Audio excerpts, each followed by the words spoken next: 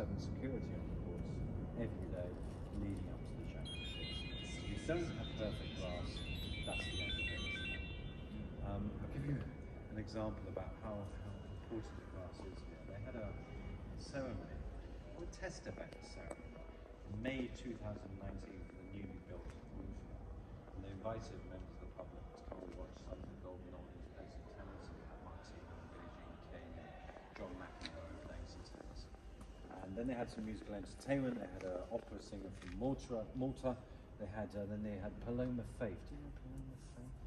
Kind of yeah. She was um kind of not that big a pop star. But anyway, she arrived.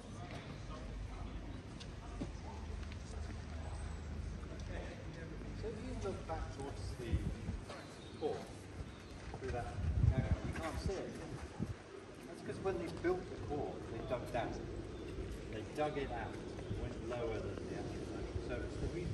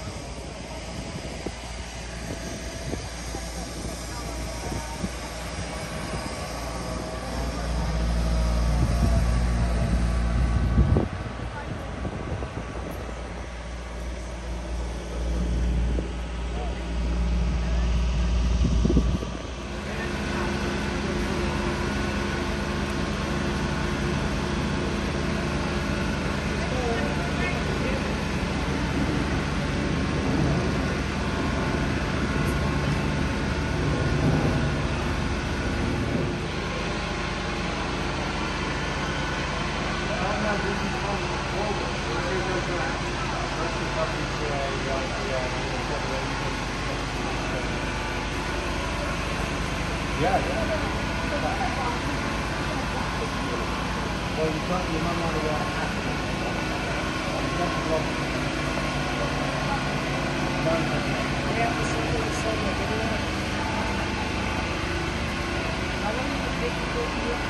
Ten minutes to close the room, but another twelve minutes to one the time. They're getting very warm up home.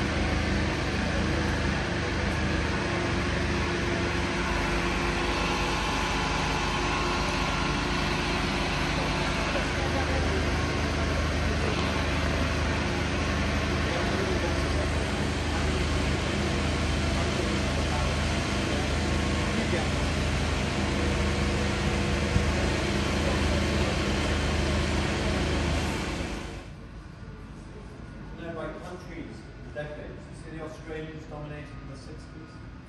Before we entered the, the age of the American, the French player who really popularized tennis in the early 20s, Suzanne Lenglen. She's the one who drew the crowds. We'll just carry on our way down.